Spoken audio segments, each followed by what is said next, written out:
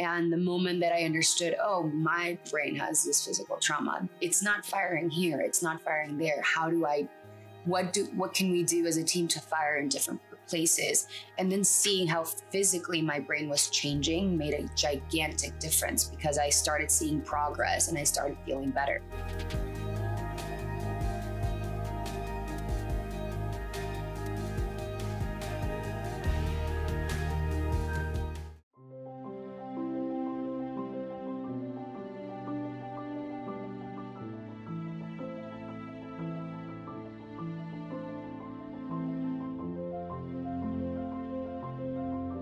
When you first came to see me, you were a bit of a mess.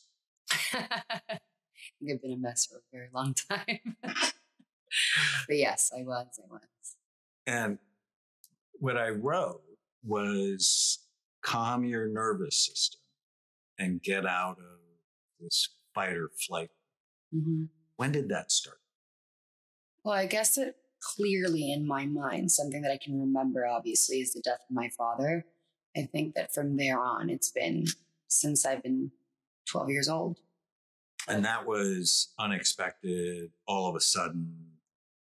I mean, I remember everything perfectly. It was a Sunday morning when I was, it was a few days after my birthday. And yeah, my father had a motorcycle accident and I was turning, you know, a, a preteen. And I was so rocked by the by the accident that I just went into complete fight or flight mode. And ever since, I've never been able to come out of it. And that's been part of our work yeah. to get you to calm down your nervous system and not be so hard yeah. on yourself.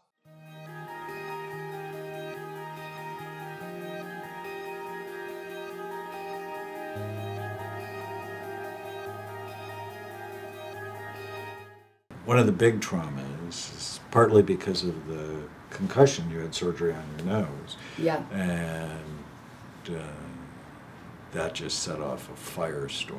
Yeah, and I think that I, you know, it's not very public and people don't know about this, but I had a lot of trauma to the face really young. So like obviously you we talked about this when at a 1 year old I hit my head and popped it open and then broke my nose in five pieces at 11 which was pretty brutal. And then got trauma into my cheek too. I like hit a, a glass table really young too, which now I have a cute dimple, but it's a, a scar. And then sp split my chin really young as well. So I had a lot of trauma. And then I got attacked by a dog when I was seven. That was actually a big deal. Big trauma, yeah. Big trauma. Almost got killed. Because they worried you might lose your arm. Yeah, they thought the I was going to lose my arm. rabies.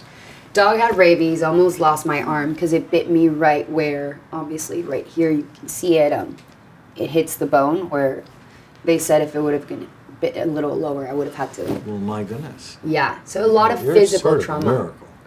yeah. My mom used to joke about the fact that I, she was like, for your birthday, I'm going to give you a room at a hospital. it's just like, it was ridiculous. I lived, she was also joking, like, you fall standing. Like, it's it's I've never seen something. That's like actually that. common for ADD kids, which is they what made people three think. to four times the amount of medical services is not correct ADD kids.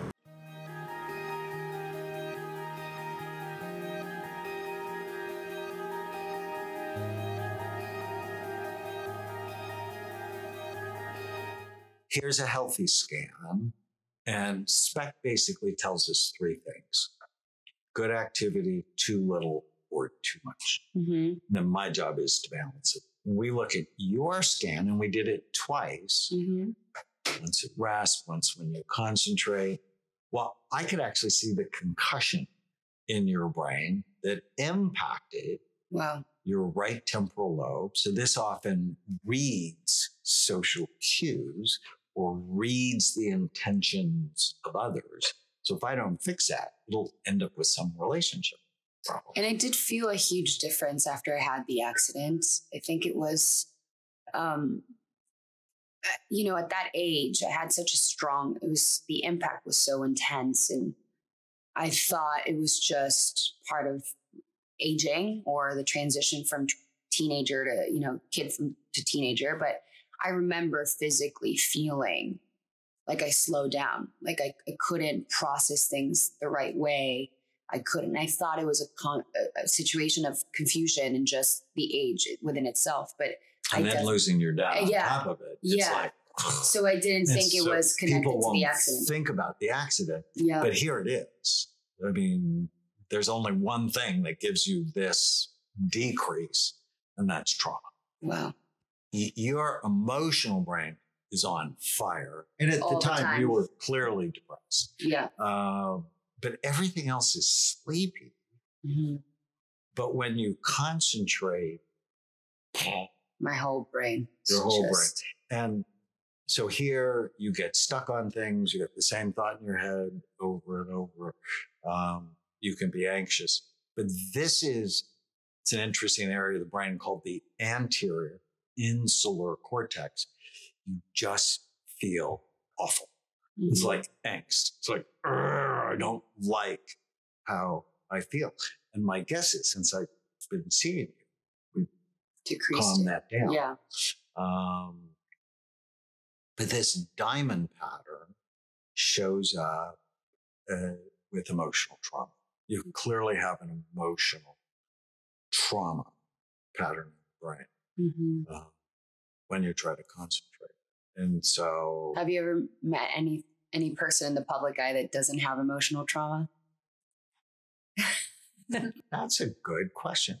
Not the ones that come see Yeah. me. sounds sounds like it wouldn't. well, there's a whole psychology of fame.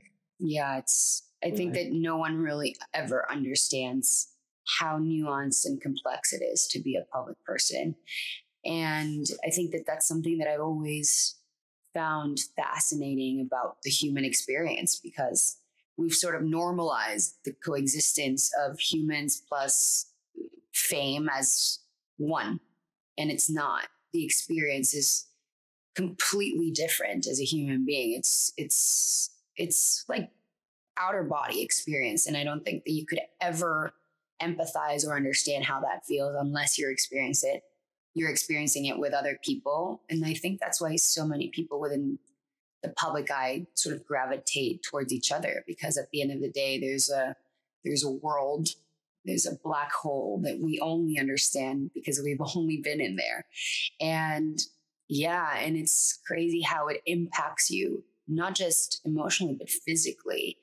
And I, I just don't think that the brain is designed to digest what that ex- entails. You know, I don't, I truly believe that the brain does not fully comprehend the human experience of being in the public eye.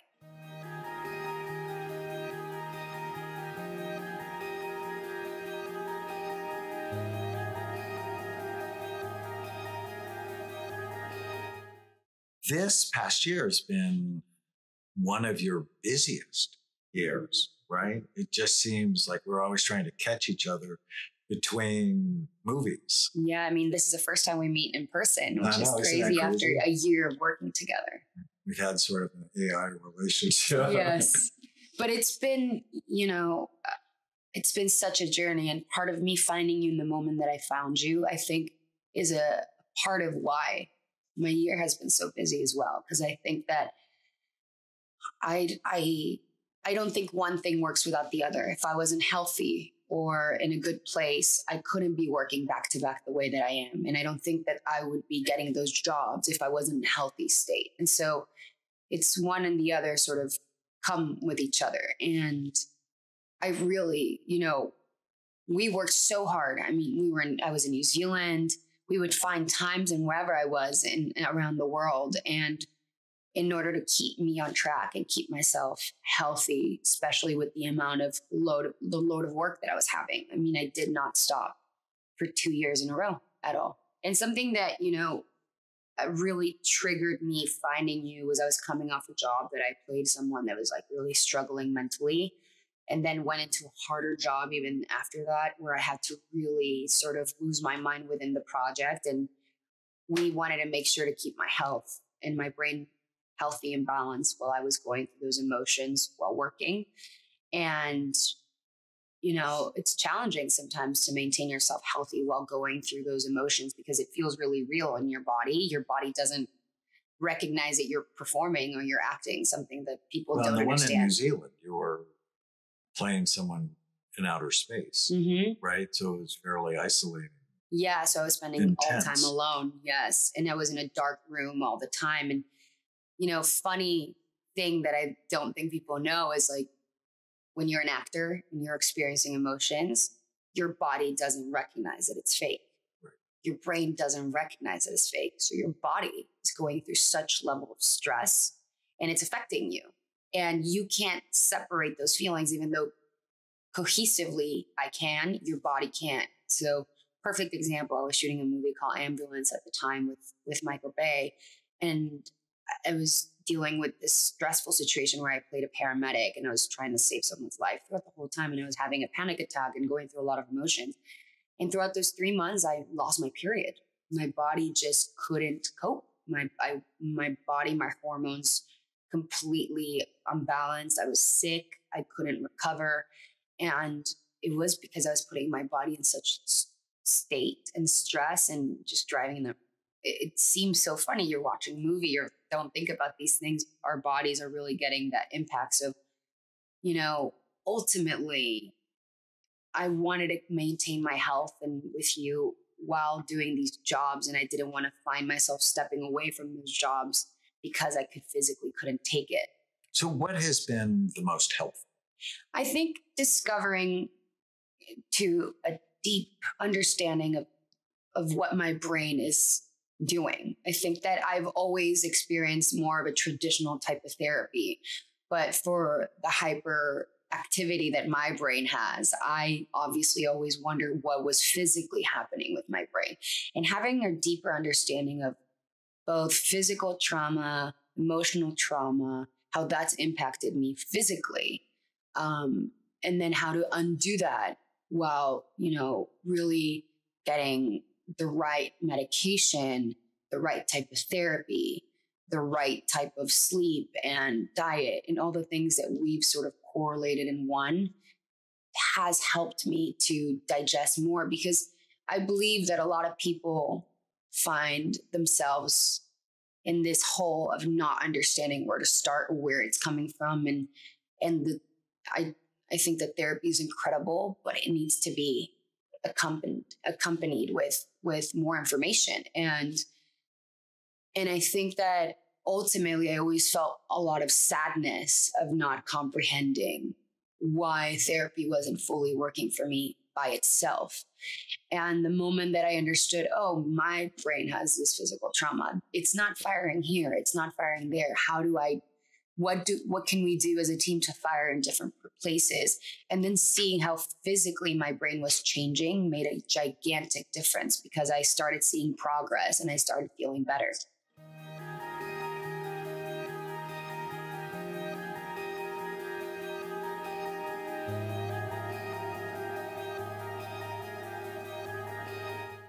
Supplements. mm-hmm. Because you, you're actually not taking any medicine you? No i'm not a minute no i'm just on supplements with you we we started with Pristiq We started with Pristiq because it increases both serotonin and norepinephrine. Mhm. So it can actually help, it can help mood and obsessiveness. It's a little bit more stimulating. Mhm. Um, what are we going to do with supplements going forward? well we're going to keep taking them So which ones are you consistently Well, we different we were definitely on NeuroLink, which I saw a huge difference. Um, you had me in three different ones though, but we were gonna change. So I had you on the vegan Mm-hmm. omega 3 Mm-hmm. and the gummies. and the theanine gummies. Mm-hmm. And did we try saffron? No, we were gonna try it now. Yeah, let's try it. What I wanted to focus is this second chapter of my life as a woman and being able to be as healthy as I could physically be or mentally um, to hopefully become a mother one day, you know, and, and be the best version of that because that's so, And if you're kind to yourself, you can be kind Natalie to and I children. were just posting, we just made a video. The number one most important thing for parents is to be a good parent to yourself. Mm-hmm. Because if you're not a good parent to yourself, it's going to leak. I've Yeah. I've learned that. I've seen it. You don't want lot. to leak. Yeah. I mean, there's it's impossible, right, to be the best parent. We're always going to make mistakes, but definitely, we just said is Well, what just makes like a as a person, you're going to make mistakes. hmm Do you learn from them? Or do you beat yourself up? hmm Like I have this wonderful Olympic athlete, I treat. Um, every day she wins or she learns. She came in, she sat on that couch and she said, if I don't win a gold medal, my children will hate me. Your children aren't going to care. They're going to care if you spend time with them. Yeah. They're going to care if you're nice to them. They're Yeah. not going to care about the stupid medal. Yeah, but at the end of the day, you know, we're so hard on ourselves, and I think that that's what I've learned with you most than anything is it doesn't matter, you know, if you come in and your brain's not the best version. I, I remember the unveiling of my brain was a scary thing because I was ready for it to be a, just a crater of holes and and the electricity and and we're so judgmental on ourselves. We we put so much pressure on ourselves to this perfection and this version and being able to be like, uh-huh, I'm great, or you know, or I'm not so bad. And the, at the end of the day, it doesn't matter if you've the that there or not there, you can get there. And I think that's what made me feel really hopeful and and feel it filled me with purpose when I met you because it didn't matter what state my brain was. And when I saw that electricity in my brain all over the place, it actually sort of soothed me because this Because you never knew ending. it was there. Yeah, because it was this could feel it. big elephant in the room that I couldn't comprehend. And I finally w- had an answer to my questions. And it was the beginning of a path to fulfillment and happiness and growth. And even in the hard times of the growth, it's made me feel really happy because even though it's really hard in the moment, it's really tough and there's a lot of tears and a lot of stress and a lot of hearing a lot of things you know you you also get such crazy hit of dopamine because your body's realizing okay i can process this. Okay you can move forward and and it becomes addicting and in the best way possible. You let those addictions and all those sort of regroup themselves into the positive and so all that sort of um, addiction to those thoughts have become addiction to those thoughts in order to get to the positive versus lingering in the negative. And that's why this has been such an amazing journey with you. And I'm just excited to where we're going to get because it's just the beginning. It's only one year we've done a lot of progress. I I think.